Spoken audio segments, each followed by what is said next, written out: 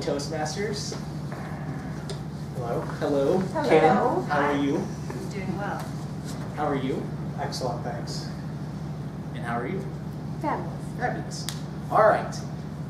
Have you ever wondered what, where the, uh, where those answers came from? Fabulous. Excellent. If you think about it, a lot of our life is on autopilot. And it didn't occur to me till I was writing the, uh, till one night I was writing the L. It was late at night. I had my earbuds in, head down, didn't want to deal with this, you know, in front of you like, like everybody else. And my phone died. My phone finally died and the music out. So just ner- uh, nerve-wracked, looked up, made me realize everyone else is in that same daze of, uh, of distraction as well. And then it really dawned on me, you know what's one of the most unfortunate things in life? That there is nothing that in my life that I would be doing that would ever have me meet these people face to face. Like there's nothing that would put our lives together because I'm in this autopilot routine. So, tonight, you will learn of these underlying factors of what dictates our decisions in life and what you can do to overcome them. Who here listens to Spotify, Pandora, or listens to one of those shuffling music apps? Many of you, right? If you think about it, the things that make this these apps so great is it creates a much better music li- listening experience. Have you, uh, who here has ever discovered an artist they never would have discovered in a million years if it wasn't for their app, Pandora, Spotify? Well, how crazy would it be is if you could apply that same principle to other aspects of your life? If you think about it, Spotify, Pandora, we put the music on shuffle and it makes the decision for us. We just kind of receive the information and we either like it, we kind of like swipe right or we swipe uh, swipe left on it, and then we go uh, and then we uh, add we when we add it to our music repertoire, we will sometimes discover a really good gem. Now, what if we applied this to something as crazy as as simple as what food meal you're going to eat, where you're going to travel next, where you're going to study, where you're going to work next.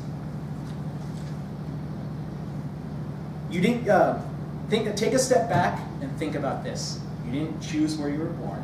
You didn't choose who your parents were, what time in history you were going to be, uh, you were going to be born, who your parents were, or who uh, who ended up raising you, what teachers you would have, and who you would end up being your friends.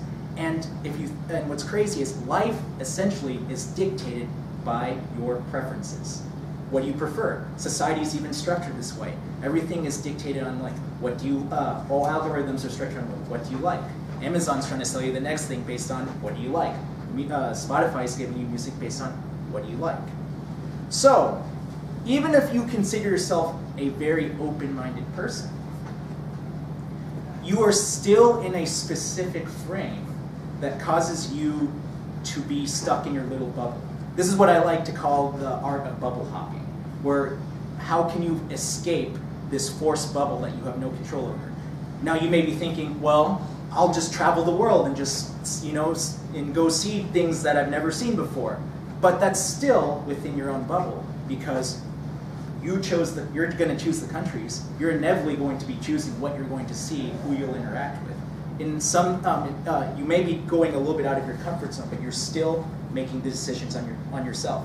Think about Spotify and Pandora and these apps, how they completely redesign your experience. So, what would happen if you had an app or a decision making mechanism, or just decided to let go altogether and have people make the decision for you? You would, uh, that is the only genuine way to really escape your bubble. For example, when I was backpacking Europe back then in 2014, I decided to. Uh, I was on this couch surfing platform, similar to Air, it was pre uh, Airbnb, and it's essentially the same thing but free, and you, you end up staying with travelers, you know, uh, on their spare bedrooms or couches. I ended up staying. Uh, I ended up uh, staying with this girl in uh, Lyon, France, named Camille, and I only intended to stay um, a- a- in Lyon for about four days.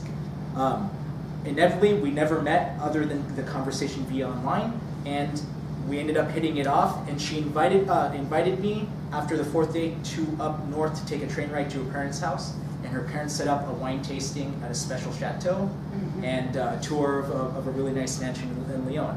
And I completely canceled my uh, my plans to go to Italy a few days before because I, uh, I was able to be flexible enough for this experience. Fast forward, when I finally did go to Italy, I ended up uh, running in. Um, I went to Rome with no place to stay because every uh, everywhere in Rome was booked. But I went to a, a, a, a couchsurfing meeting, which was a gathering of travelers and hosts, and I ended up meeting someone at, uh, there who would host me right on the spot, and ended up staying in Rome for seven days. And instead of going north to Slovakia, he was about to take a road trip, asked me if I wanted to join to take a smart car on a boat to Albania in Oh. Greece. And my whole trip going to countries I never would have imagined planned or going to was now the end of my future. And this is just a small fraction of what happened over the course of three months. But it only would have happened, uh, it only has happened because I let other people make those decisions. Now, you may be thinking, what can I do? You know, take baby steps to do something like this. Well, imagine going to a restaurant and having the waiter choose your meal for you. But don't ask, uh, what do you recommend? Because then when they tell you, you'll be like, no, no, no, I think I'll go with my original choice, like we all have at some point. But genuinely, don't even hear it. Imagine going to a movie theater, but without the intention of knowing what movie you're going to see. Just tell them to buy the ticket for you, and you're going to see whatever you're going to see. These are all subtle ways, uh, subtle things you can do in your day-to-day life to kind of break out of that bubble, to see shows, to do things, to meet people that never would have come into your world otherwise. So, if you're the kind of person who really who is open-minded enough or realizes that uh, you're trapped in this bubble and you're looking for something new, more variety, some more adventure possibly, or you're uh, or you're afraid of being uh, being able to be stuck in that same monotonous routine, just think about uh, think about Spotify and those apps and what you can do if you had the decision made for you. Thank you.